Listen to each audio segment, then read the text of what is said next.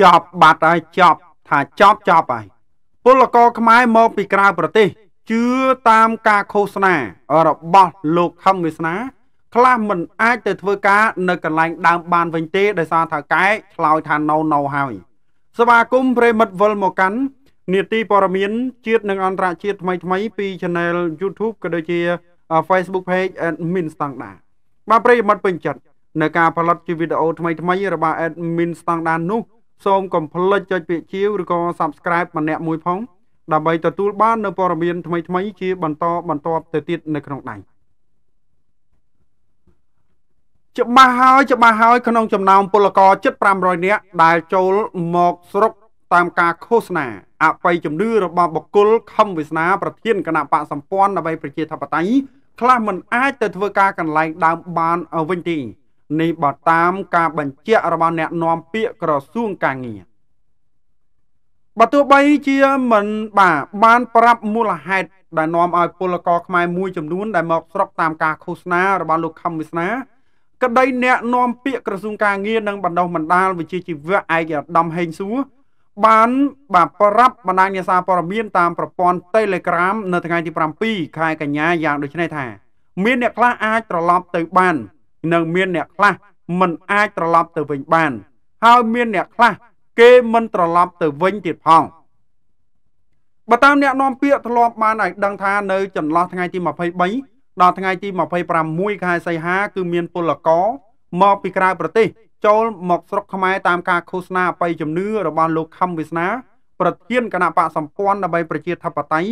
ក្នុងនោះមកពីប្រទេសជប៉ុនកូរ៉េថៃ ប៉ុន្តែចាប់ពីថ្ងៃទី27ខែសីហាមកពេលនេះមិនមានពលករចូលមកទៀតនោះទេឯកឧត្តមអ្នកនាំពាក្យក្រសួងកាងារកាលពីថ្ងៃទី6ខែកញ្ញាបានលើកឡើងថាចាប់ពីថ្ងៃទី27ខែសីហាឆ្នាំ2022មិនមានពលករចូលមកក្នុងស្រុកតាមការឃោសនាអបិយជំនឿទៀតទេការមិនចូលមកនេះ ដោយសារមានសាធារណជននិងអ្នកលេងបណ្ដាញសង្គមផ្សេងបានធ្វើការអំពាវនាវនិងធ្វើការចែកចាយរូបភាពមួយចំនួនពន្យល់ទើបធ្វើឲ្យពលករមួយចំនួនធំមានការភ្ញាក់រលឹកខ្លួន ហើយមិនបន្តមកតាមការអំពាវនាវរបស់មេបកនេះទៀតនោះទេបើតាមឯកឧត្តមបានឲ្យដឹងថាដោយសារជឿលើការឃោសនាអកុសលបែបអបិយជំនឿរបស់លោកខំវិស្នា បានធ្វើឲ្យពលករខ្មែរជាង500នាក់ត្រឡប់មកស្រុកវិញទាំងបាត់ដៃទៅទីសូមរំលឹកថាត្រឹមចន្លោះថ្ងៃទី23ដល់ថ្ងៃទី25ខែសីហាកន្លងទៅនេះនៅកូរ៉េខាងត្បូងមានពលរដ្ឋខ្មែរចំនួន ជាង400នាក់នៅជប៉ុន មានពលរដ្ឋខ្មែរប្រហែល100នាក់ក្នុងនោះក៏មាននិស្សិតថ្នាក់បណ្ឌិតរៀននៅតំបន់កាន់សៃនៃប្រទេសជប៉ុនម្នាក់ផងដែរបានឈប់ បាទបោះបង់ចោលការសិក្សាត្រឡប់រត់មកចូល បាទជំរុំបាទនៅជើងភ្នំគូលែនឯកឧត្តមបានបន្តទៀតថាអ្នកខ្លះត្រឡប់មកវិញដោយយកហេតុផលថាឪពុកម្ដាយឈឺធ្ងន់ដើម្បីថាកែអនុញ្ញាតច្បាប់ អ្នកខ្លះទៀតគឺសុំថាកែបន្តសុំទោសបាទសុំថាកែប៉ុន្តែថាកែមិនឲ្យឈប់ក៏ឈប់ទាំងអត់ច្បាប់ក៏បោះបង់ចោលការងារហើយត្រឡប់មកខ្មែរវិញ សូមរំលឹកថាចាប់តាំងពីថ្ងៃទី26ខែសីហាមានប្រជាពលរដ្ឋជាង15000នាក់មកពីបណ្ដាខេត្តផ្សេងផ្សេងនិងមានទាំងពលករខ្មែរនៅក្រៅប្រទេសបាទរត់ចោលការងារត្រឡប់មកស្រុកខ្មែរនិងបាននាំគ្នាជិះឡានម៉ូតូយ៉ាងច្រើនកកកដោយបាននាំយកកូនចៅ និងរបស់របរប្រើប្រាស់មួយចំនួន ទៅជាមួយដូចជាចានឆ្នាំងត្រីងៀតសាច់ក្រកជាដើម ដើម្បីភៀសខ្លួននិងស្នាក់នៅរួមគ្នាក្នុងចំការមរិចមួយកន្លែងរបស់ប្រធានគណៈបកសម្ព័ន្ធដើម្បីប្រជាធិបតេយ្យគឺលោកខំវាសនា ដែលស្ថិតនៅ ខាងជើងភ្នំគូលែនបាទក្នុងឃុំត្បែងស្រុកបន្ទាយស្រីខេត្តសៀមរាបការសម្រុកទៅនេះកើតមានឡើងក្រោយការថ្លែងរបស់លោកខំវាសនាមេបច្ចុងបានប្រកាសនឹងមានទឹកចំនួនជន់លិចពិភពលោកទាំងមូលហើយលើកលែងតែ បាទទឹកដីភ្នំគូលែន បាទក្នុងខេត្តសៀមរាបតែមួយគត់ដែលមិនជន់លិចនោះគិតត្រឹមថ្ងៃទី7ខែកញ្ញានេះសមត្ថកិច្ចបានឲ្យដឹងថាមានពលរដ្ឋជាច្រើនបាននឹងកំពុងចាក់ចេញពីដីចំការរបស់លោកខំវិស្នាតែក៏នៅមានប្រជាពលរដ្ឋនិងសកម្មជន LDP ដែលសមត្ថកិច្ច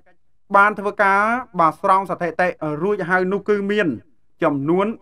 335គ្រួសារស្មើនឹង1737នាក់ ស្រី795នាក់អនិតិជនចំនួន400នាក់បាទអនិតិជនចំនួន1000 337នាក់ចឹងបងប្អូនទាំងអស់គ្នាហើយបាទច្បាស់ហើយបាទទៅវិញគេអត់យកទេបាទណាសំខាន់ទៅវិញគឺគេអត់យកបាទរត់មកហើយបាទចោលការងារហើយហើយរៀនដល់បណ្ឌិតអីនៅជប៉ុននោះបាទទៅវិញក៏គេអត់យកទៀត បាទចប់មានស្អីទៀតបាទខំប្រឡងបានបុកបានអីនេះទៅរៀនបាទលទ្ធផលចុងក្រោយចប់សពគ្រប់បាទរត់ចោលការសិក្សាមិនធម្មតាណាប្រិមិត្តបាទបណ្ឌិតនៅជប៉ុននោះបាទមកវិញដឹងតែបានការងារធំធ្វើតែម្ដងឥឡូវគឺចប់បាទ ណារត់ចោលការសិក្សារត់ចោលការងារប្រាក់ខែ3 4000អីចឹងទៅបាទ2000អីចឹងទៅណា1000ជាងអីចឹងទៅបាទអ្នកខ្លះលក់ដីផងអីផងតម្រាំតារៀនចប់បានចេញទៅជប៉ុននោះខ្ចីធនាគារផងអីផងដល់ពេលទៅហើយបាទជឿតាមការឃោសនារបស់គេរត់ចោលការងារបាទមកផ្ទះវិញបាទណាឥឡូវនេះបាទសុំគេទៅវិញគេអត់យកបាទគេអត់យក នៅប្រិមត្តអ្នកខ្លះទៅក៏ប្រាប់លើកហេតុផលថាខ្ញុំមកនេះមកដោយសារតែម្ដាយខ្ញុំឈឺបាទអាណែ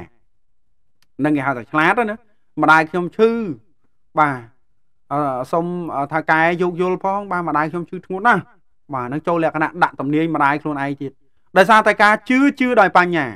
បើសិនលិចទាំងអស់មកពិភពលោក ភ្នំគូលែនតែមួយនឹងរ៉ាប់រងមិនជាប់ទេដោយសារតែភ្នំគូលែនគឺជាភ្នំដែលមិនមែនជាភ្នំដែលខ្ពស់ជាងគេបំផុត នៅលើពិភពលោកទេអញ្ចឹងបើលិចអស់ហើយបាទភ្នំអេវរ៉េសបាទភ្នំអីជាដើមមកបាទលិចអស់ទៅហើយបាទមានអីសល់ទៀតបាទកម្ពស់ភ្នំគេរាប់ពាន់ម៉ែត្របាទកម្ពស់នៅកប់ពពកនៅប្រិមិត្តបាទបើលិចទាំងដល់នងទៀតបាទមានន័យថាលិចដល់មេឃទៅហើយបាទលិចដល់ពពកទៅហើយបាទអញ្ចឹងនៅតែភ្នំកលេនហ្នឹងប្រិមិត្តជឿដែរបាទប្រិមិត្តជឿអត់បាទ មើលសួរប្រិមិត្តមើលប្រិមិត្តជឿអត់អញ្ចឹងបងប្អូនទាំងអស់គ្នាតាក់ទងបានទៅនឹងព័ត៌មាននេះបាទបងប្អូនចូលរួមបញ្ចេញមតិយោបល់បានម្នាក់មួយផងហើយបើសិនជាលើកទៅលឹះលួសត្រូវខុសដោយប្រការណាមួយនោះក៏សូមខន្តីអភ័យទោសជាចុងក្រោយ admin standard បាទសូមជម្រាបលា